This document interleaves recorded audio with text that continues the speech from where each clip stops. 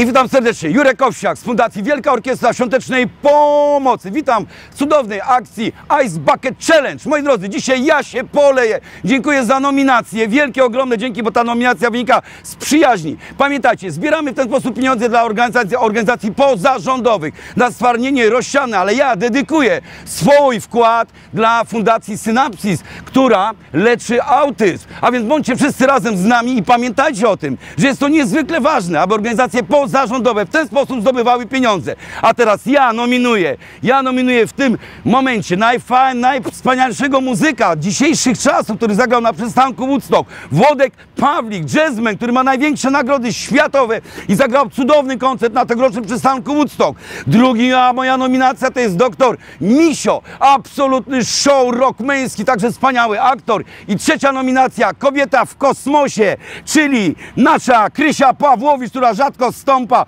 po ziemi, ale za to ją także nominuję, aby się oblała i w ten sposób wsparła organizacje pozarządowe. Tym samym dziękuję bardzo wszystkim strażakom, którzy są razem z nami, którzy byli na przystanku Woodstock, którzy także tutaj są, aby mnie oblać. Ice Bucket Challenge, moi drodzy! Bądźcie razem z nami, żeby tradycji stało się zadość. Zimna woda, lód, bo w ten sposób musimy to przeżyć. Ua! Modlin, dziękuję za Ice Bucket Challenge! Wow! Syreny, syreny! Ah!